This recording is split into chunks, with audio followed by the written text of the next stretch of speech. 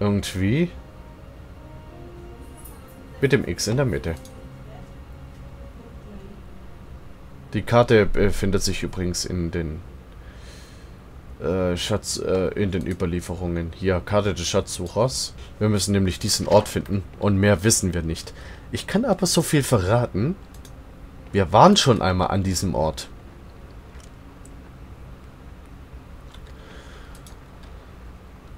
Und diese Quest zieht sich übrigens auch drei Akte lang. Also Akt 1, Akt 2 und Akt 3. Was ich dann noch äh, hinzufügen möchte, ist, dass dabei etwas Interessantes herauskommt bei dieser Quest. Und...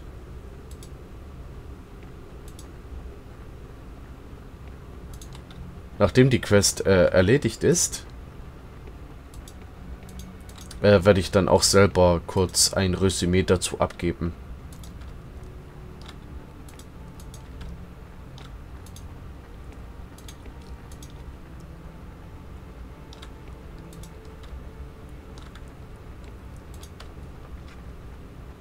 Gut, ich war jetzt gerade wieder gedanklich ganz äh, vertieft.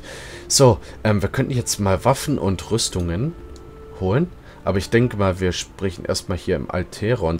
Beziehungsweise nehmen erstmal Tormanar und seine Folgen. Band 5. Das wird ja immer besser. Wen haben wir hier? Oberster Hüter Vetril. Gesch Geschichtsschreiberin Bidelia. Die Zeiten werden zunehmend finsterer. Doch wir Elben halten durch, wie seit ewigen Zeiten schon. Ich habe viel zu tun, doch wenn ihr Fragen habt, werde ich sie beantworten. Oh Gott, ja, erzählt mir die Geschichte der Elben, Geschichte Amalu. Äh, mein Elbisch ist schwach. Was sind die Bedeutung einiger der üblichen Wörter? Vailudra, Vaikesh, Wald, Vaikesh, Taklak, Königreich der Nordlande, elbische Aegis des Todes. Ja, elbischen äh, Melonamin war ja Freund. Wie Melon? War Freund. Suilat war, glaube ich, äh, sei willkommen. Sei gegrüßt. Ihr habt zu lange unter brabbelnden Barbaren gelebt, Kind. Vergesst nicht euer gesamtes Brauchtum. Suilat bedeutet sei gegrüßt. Und Melonamin heißt Freund. Was die anderen Wörter angeht, so versucht, euch an den Unterricht eurer Kindheit zu erinnern. Und Skoyatel heißt übrigens Eichhörnchen. Selepel, der Älteste. Ihr seid zurück. Eine traurige Heimkehr, nicht wahr, Kind? Ist der junge Dravin auch zurück? Dravin ist tot. Sein Blut klebt an Waldes Händen. Viele haben dergleichen vermutet. Das Elbenherz spürt vieles dieser Art. Es wird seiner wohl gedacht werden. Dieses Spiel mit den Allianzen ist schrecklich. Ein Fehler und schon geschehen die schlimmsten Grausamkeiten. Ja, ich. Ich sehe, dass Waldes hier war. Warum hat er uns dies angetan? Selbst wenn wir ihn nie wirklich unterstützten, haben doch viele der unsrigen in seine Herren gedient. Die Zeiten haben sich geändert, Kind. Ihr wart zu lange fort, um es zu erleben. Aber unsere Rolle in diesem Krieg ist nunmehr klein. Einst suchte Waldis unseren Rat. Nun ist er zu weit gegangen. Die Macht des Schwertes verzehrte ihn, seinen Verstand und seine Seele. Die Bande sind zertrennt. Nie wieder kommen die Elben den Wünschen eines Wahnsinnigen nach. Aus welchem Grund hat er uns dieses Unheil angetan? Vernunft findet bei Waldis nicht länger Gehör. Er verlangte die Reliquie, die wir seit Generationen in unserem Schrein bewahren. Selbst wenn er seine Stimme mit der Höflichkeit von einst erhoben hätte, hätte ich sie ihm nicht gegeben. Doch es war ohne Bedeutung, denn die Prinzessin hatte sie ihm bereits mitgenommen. Äh, bitte was? Prinzessin Evangeline selbst war hier? Der Schrein unter eurem Heim? Ich, ich dachte, jene Ort enthielte nur Dinge von erinnerungswert Andenken an eine längst vergangene Zeit. So ist es, Kind. Ihr habt sie nur um wenige Tage verfehlt. Es gab eine wertvolle Reliquie, wertvoller als alles Gold in Waldis Tempeln. Jetzt, da sie fort ist, kann ich euch sagen, dass unser Schrein die Ägis des Todes enthielt. Hier? In unserer Stadt? Dann habt ihr von diesem Artefakt gehört? Ja, ich habe etwas gehört, das so genannt wird. Jetzt mal überlegen, die Triaden auf der Insel Greylin hatten die Ägis des Lebens. Hier die Ägis des Todes. Hm. Die Ägis sind Objekte großer Macht. Die Prinzessin bat uns inständig, das unsrige herauszugeben. Sie wollte es in Sicherheit nach Schneebach heimbringen, wo die gesamte Garnison es bewacht. Dort schlägt das Herz des Widerstandes gegen Waldis Truppen. Die Ägis gibt ihnen vielleicht die Macht, seine Schreckensarmee zu vernichten. Ich konnte ihr das nicht ausschlagen. Ich verstehe. Ihr gab sie ihr, doch um welchen Preis? Der Ort blieb schutzlos zurück, Waldeszorn ausgesetzt. In diesem Krieg geht es um mehr als um die Sicherheit einer Kleinstadt. Die Prinzessin und ihre Leibgarde verließen uns mit der Aegis vor drei Tagen. Istaura steh uns bei. Was hält Waldes davon ab, einfach ihre Karawane zu überfallen? Sie sind in Sicherheit. Vorerst. Ihr Aufenthaltsort wird durch einen Nebel vertuscht, den nicht einmal Amren durchdringen kann. Und auch wenn Waldis zur Burg reist, wird er doch einen anderen Weg nehmen. Ihre Hoheit wollte die alten Pfade nehmen durch die Wälder. Dennoch fürchte ich, dass die Aegis schon bald wieder in Gefahr ist. Waldes wird sie nicht bekommen. Ich werde der Karawane folgen und sicherstellen, dass sie ihr Ziel erreicht. Wie ich sehe, bewegen euch nicht mehr nur eure Wünsche. Ich bin stolz auf euch. Anscheinend hat sich nicht nur dieser Ort verändert. Welchen Weg wählte die Prinzessin? Ich werde ihr sofort folgen. Sie nahm den Weg nach Süden, über die Brücke. Leider ist von der Brücke nicht mehr viel übrig. Wir waren kaum in der Lage, das Feuer davon abzuhalten, die Stadt zu vernichten. Diese Flammen löscht kein einfaches Wasser, fürchte ich. Lebt Finala noch in Amanlu? Vielleicht könnte sie sich um die Reparatur der Brücke kümmern? Sie war immer einer der Ersten, wenn es um solche Dinge ging. Ja, sie lebt noch immer hier. Finala könnte sich um diese Aufgabe kümmern, doch sie ist schon beschäftigt. Sie beabsichtigt, zu den Elenlu-Inseln zu reisen. Sie möchte dort das Elbenprisma aktivieren, um so die Stadt zu retten. Äh, das Elbenprisma? Ich war als Kind auf den Inseln, doch ich verstand nie, wozu das Prisma dient. Das Prisma der Elben wurde von unseren Vorfahren geschaffen. Istero selbst erfüllt es mit seiner Energie. Es sollte nur in Zeiten größter Not eingesetzt werden, denn seine Macht wird für lange Zeit nach seinen heilenden Regen geschwächt sein. Ich werde verhindern, dass Waldes noch mehr Schaden anrichtet. Vielleicht kann ich selbst das Prisma aktivieren und Finala so überzeugen, stattdessen die Brücke zu reparieren. Ich muss der Karawane folgen. Ihr habt meinen Segen. Ich lasse das Nordtor für euch öffnen. Noch etwas, Kind. Ihr solltet bei Drevin zu Hause vorbeisehen. Seine Schwester Drianjul erhielt einen Brief von ihm vor einigen Monaten. Er ist an euch gerichtet. Ein Brief? Istaura sei mit euch. Sputet euch. Die Zeit verrinnt. Und wir haben jetzt auch den Aktivierungsstein, den Teleporter für Amanlu. Heißt, wir können mit dem Teleporter nach Amanlu.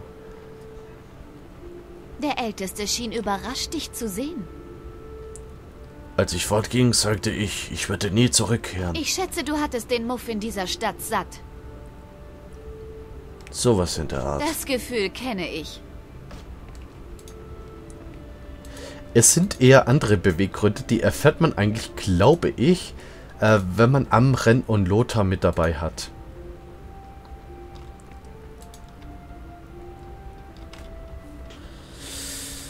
Gut, dann besuchen wir noch, ähm, ja, Dravens Schwester. Oh, ich glaube, das wird auch eine fast genauso lange Konversation. Erstmal schön um, umrunden. Und danach werde ich mich neu ausrüsten. Und dann mal schauen, vielleicht mache ich entweder Schluss oder wir gehen noch die eine Nebenquest aus Akt 1 an. Hast du etwas gefunden, woraus man einen Knopf für den Stab machen könnte? Die Erinnerung daran verblasst mit jeder Stunde, die vergeht. Ich glaube ja. Schau, was ich gefunden habe. Hm, du scheinst keine Reagenzien zu haben. Aber danke, dass du gesucht... Ach so, okay. Äh, Entschuldigung, das war der falsche Eingang. Ich dachte gerade schon. Gut, was habe ich hier? Ach, Aktivierungsstein. Okay. Finaler und die zerstörte Brücke für Stufe 19. So, hier. Da bin ich richtig. Suilat, es freut mich, dich wiederzusehen. Leider ist dies ein so finsterer Tag, dass deine Rückkehr ihn nicht zu erhellen vermag. Sei mir gegrüßt, Trian Jul. Ich, ähm, bringe traurige Kunde. Ja. Ich fragte mich schon, weshalb mein Bruder nicht mit dir zurückkehrte. Erzähl mir doch bitte, was ihm widerfuhr. Draven schlug sich wacker, doch er wurde verwundet. Und Waldes verriet ihn, und das war sein Tod. Ich habe es schon geahnt. Mein Herz trauerte schon um ihn, bevor du mir diese Nachricht brachtest. Mein Bruder war ein Soldat und suchte den Tod auf dem Schlachtfeld. Ich trauere, da er ihn nun gefunden hat. Doch sein Tod macht die Kunde, die ich für dich habe, nur noch bitterer. Kunde? Sag es mir, kleine Schwester. Waldis Zorn hat nicht nur meinen lieben Bruder von deiner Seite gerissen. Deine Familie bekam seinen Wahn zu spüren. Was heißt das? Wo ist meine Familie? Als Waldis Amanlu angriff, waren sie...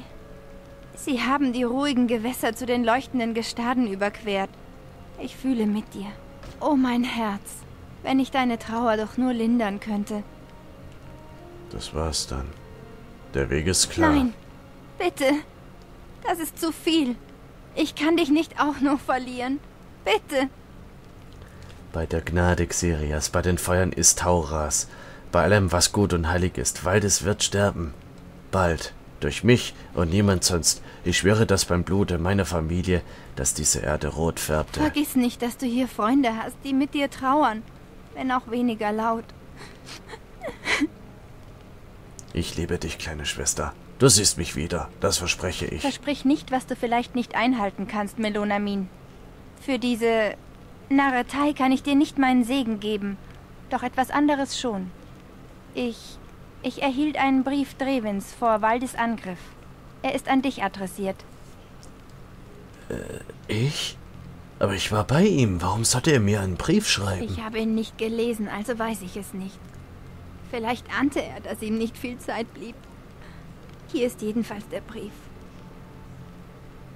Danke. Bitte weine nicht, Dria. Wenn ich dich das nächste Mal sehe, werde ich Waldes Kopf auf einem Speer tragen. Brief von Draven erhalten. Äh, trauere nicht. Wenn du diese Zeilen liest, bin ich tot und du bist zurück in Amanlu. Der Gedanke macht mir das Herz schwer, wenn auch nur deshalb, weil ich dir nicht mehr zur Seite stehen kann. Ich vermute, dass dein eigenes Abenteuer gerade erst beginnt. Die Zeiten haben sich geändert. Nichts ist mehr wie es war und es wird dir schwer fallen, standhaft zu bleiben. Ich habe es nicht vermocht. Ich weiß jedoch, dass du tun wirst, was das Schicksal von dir fordern wird. Ich hoffe, dass du das Amulett noch hast, das ich dir eins gab. Du musst es mit deinem Leben schützen. Es ist mehr als nur ein es ist mehr als nur ein Glücksbringer.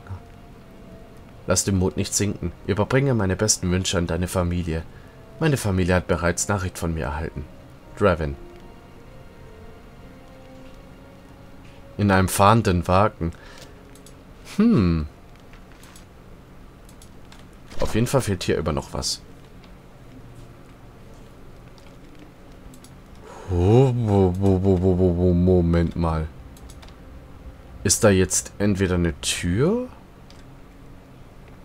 Ach, okay, war nur eine Tür. Ich dachte, hier wäre irgendwie ein Hebel, ein Schalter. Nee, okay. Gut, dann einmal neu ausrüsten, bitte. Denn hier, wie man sieht, gibt es ja neue Waffen. Stärk äh, oder neuere Ausrüstung, besser gesagt. Wir alle haben Angehörige an diesen verfluchten Schurken verloren. Mein A-Star wird nie wieder die Morgensonne über den Hügeln aufgehen sehen. Ich verkaufe euch, was noch übrig ist. Ein perfekt tariertes Schwert kann den Kummer vergessen machen. Wenn auch nur kurz. Ich danke euch. Ich werde mich umsehen. So, neue Waffen. 15 bis 25. Jo, nehme ich doch.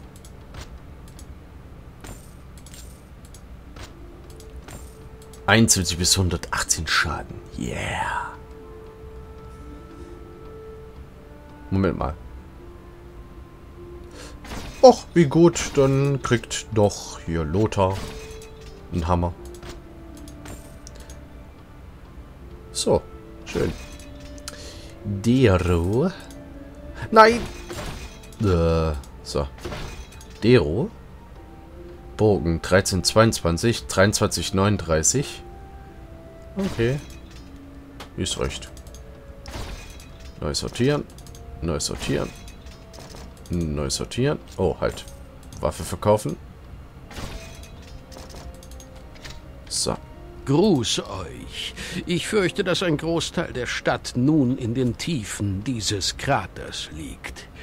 Wie ihr sehen könnt, wurde mein Laden beinahe auch zerstört, aber ihr könnt euch gerne das ansehen, was mir noch verblieben ist. Ich danke euch. Ich werde mich umsehen. So. Und, äh... Neue Rüstungen gibt es ja auch noch. So, jetzt aber ist es richtig. Gut, schauen wir mal. Äh, da. Oh, 27. Äh, nee, vergiss es. Dachte gerade schon. 24. Nee, vergiss es. 20. Ja, also, Lothar. 20. Kriegsbeschlagen. Panzerhandschuhe.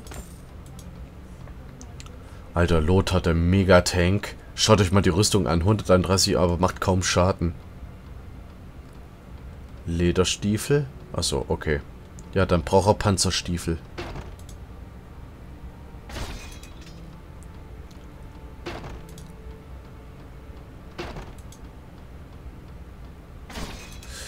Dero. Ach, Elpenhelm, stimmt ja. Du bist ja noch auf der Schiene. Also mit Elbenrüstung. Ta, ja gut, die wird auch brauchen. Sehr schön. Hm? Raven. Okay, ein Hund wahrscheinlich. Auf jeden Fall haben wir jetzt einen Haufen Nebenquests angenommen und so weiter. Haben vieles erfahren. Und jetzt aber erstmal von Amalu nach Airolan. Mal sehen, ob es jetzt auch in Stadt Airolan neue Sachen gibt. Manchmal ist dem so. Manchmal. Wenn Sie... So, schauen wir mal. Äh. 23, 39. Nö, soweit erstmal nicht. Oh, stimmt, ich habe mit Lothar vergessen, die Rüstungen mit dem Schild durchzuschauen. Meine mit Und hier, ja, 50, 18, 44, 18. Lothar, äh, Dero. Hat hier nur blau, hellblau, blau.